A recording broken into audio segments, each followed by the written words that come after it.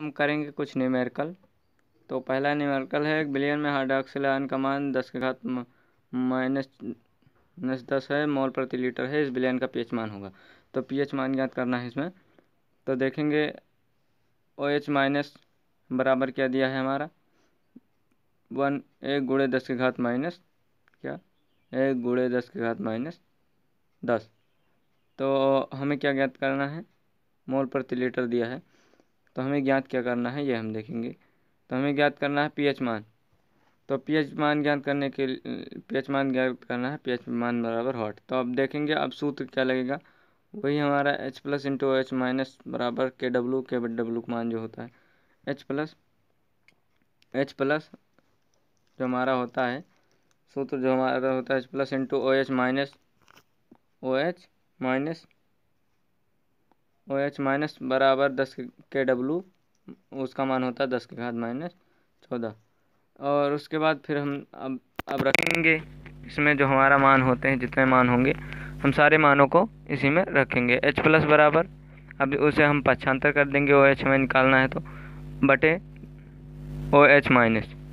तो ये हमारा हो गया। अब इसी पर हम अपने वैल्यू रख देंगे, एच, ओ एच माइनस की, दस के घात माइनस चार, चौदह, सॉरी, और बटे दस के घात माइनस दस। दस के घात माइनस दस, क्योंकि ये गुणे में है, का गुणे जिससे भी होता है, वो संख्या प्राप्त होती अब हम जब इसे घटाएँगे तो ये संख्या जब ऊपर जाएगी एच प्लस बराबर, जब दस के घात माइनस चौदह, और जब ये संख्या ऊपर जाएगी तो प्लस में दस तो जब घटेगा तो क्या आ जाएगा एच प्लस बराबर एच प्लस बराबर हमारा आ जाएगा एच प्लस बराबर चार। तो एच प्लस बराबर हमारा ये आ गया चार। अब हमें एच प्लस बराबर चार, माइनस चार। तो एच प्लस बराबर हमारा माइनस चार हुआ। अब हमें पी एच मान ज्ञात करना है। तो अब पी एच मान के लिए जो सूत्र होता है, पी एच मान के लिए एच प्लस बराबर दस के घात माइनस पी एच होता है। तो एच प्लस बराबर जो हमारा मान है, वो हम रखेंगे दस के घात माइनस चार। जो हमारा ये मान है, दस के घात माइनस चार। तो हम इसे रख देंगे और दस के घात माइनस पी एच, दस की घात माइनस पी एच। अब घातों की तुलना करेंगे, दोनों में माइनस है तो घातों की तुलना कर देंगे। घातों की तुलना हमें कर देना है। घातों की घातों की तुलना, घातों की तुलना करने पर। घातों की जब हम तुलना करेंगे तो हमें क्या प्राप्त होगा?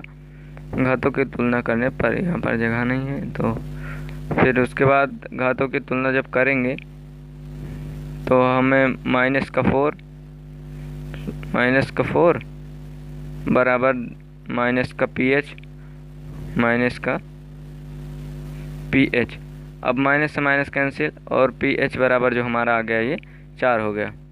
तो इस तरह से हमारा इसका आंसर निकल के आ गया है तो ये हमारा पहला क्वेश्चन कंप्लीट होता है।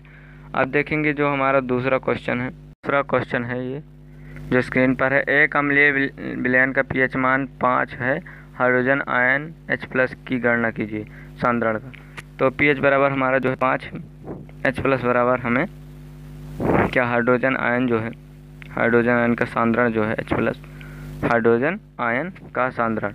हाइड्रोजन आयन हमें ज्ञात करना है हाइड्रोजन आयन बराबर वाट तो हाइड्रोजन आयन हमें निकालना है। तो अब सूत्र हम लिखेंगे।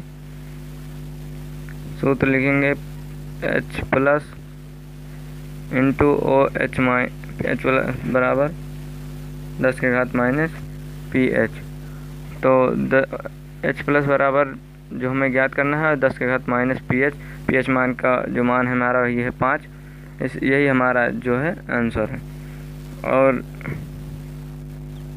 इसी तरह से हमारा जो अगला क्वेश्चन है आंसर हो गया मोल प्रति लीटर इसी प्रकार जो है हमारा हमारा अगला क्वेश्चन इस पर चार दिया है तो दस के घात माइनस चार हो जाएगा।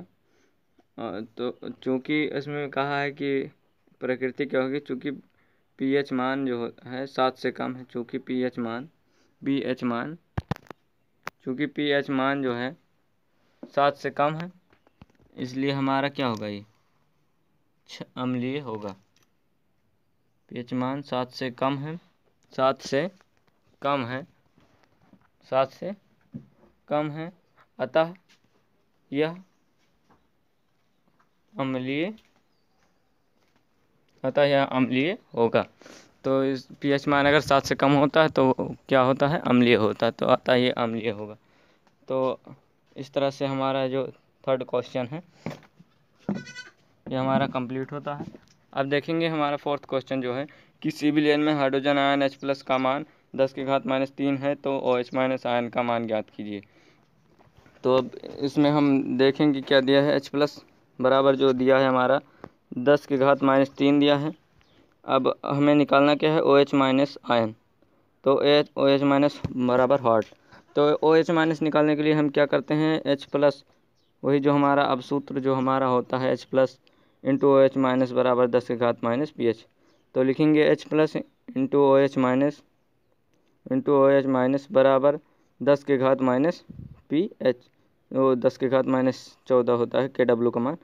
तो वही हमारा जो वैल्यू होता है, उसी पर हम रख देंगे।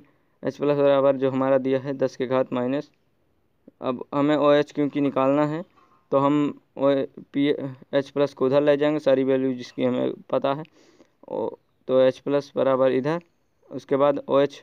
अब जब हम दस के घात माइनस, दस के घात माइनस तीन अब जो हमारा है, उसे हम रख देंगे और एच प्लस बराबर एच प्लस का मान हमने रख दिया। तो ओ एच माइनस हमारा क्या आ जाएगा? दस में से जब हमारा ये घटाएँगे, दस के घात माइनस चौदह, और उसके बाद इसमें से जब हम घटाएँगे तो हमारा क्या आएगा? हमारा जब घटाएँगे हम तो आ जाएगा ग्यारह हमारा। क्या आ जाएगा? P H O H plus बराबर। हमारा क्या आ जाएगा? तो हमारा आ गया क्या? ओ एच माइनस बराबर ग्यारह। दस के घात माइनस ग्यारह। तो ये हमारा क्या आ गया? आंसर, मोल प्रति लीटर। तो चौथा क्वेश्चन इस तरह से हमारा कंप्लीट होता है। चलते हैं अगले पाँचवा क्वेश्चन पर। तो एक बिलियन में हाइड्रोजन आयन एच प्लस का सांद्र दस के घात माइनस नौ है। बिलियन का पीएच मान बताइए, बिलियन अम्लीय है या क्षारीय? तो हम लिखेंगे हाइड्रोजन आयन का जो हमारा मान है। हाइड्रोजन आयन के सांद्रण का मान जो है दस के घात माइनस नौ है। मोल प्रति लीटर। तो अब हम, हमें ज्ञात जो करना है, हमें जो ज्ञात करना है वो हम बर, लिखेंगे, हमें निकालना है क्या? पी एच बराबर वाट तो पी एच हमें निकालना है और ये बताना है कि यह अम्लीय होगा, अम्लीय है या हमें क्षारीय है। तो हमें ये भी पता करना है कि अम्लीय होगा या क्षारीय होगा। तो पी एच बराबर वाट। तो पी एच मान निकालने के लिए एच प्लस और पी एच मान में जो संबंध होता है, वही अब सूत्र हम लगाएँगे। क्या सूत्र होता है? H plus in, H plus बराबर दस के घात माइनस पी एच। तो अब हम वही सूत्र रखेंगे। तो अब सूत्र अब सूत्र H plus, sorry, H plus H plus into O H minus O H sorry H plus बराबर दस के घात माइनस पी एच तो एच प्लस का जो हमारा मान है, दस के घात माइनस नौ है और दस के घात माइनस पी एच अब घातों की क्यों, क्योंकि घातों की हम जो समान हैं संख्याएँ तो हम उनकी घातों की जो है तुलना करेंगे, घातों की तुलना करने पर। दस दस दोनों में है तो घातों की तुलना करने पर। अब घातों की जब हम तुलना करेंगे तो घातों की तुलना करने पर हमें nine minus nine p H बराबर द, माइनस पी एच मिलेगा। माइनस माइनस कैंसिल और पी एच बराबर हमारा क्या आ गया? नौ आ गया। तो इस तरह से हमारा जो फिफ्थ नंबर क्वेश्चन है, ये हमारा कंप्लीट होता है। फिफ्थ नंबर, और चूँकि यह क्या है?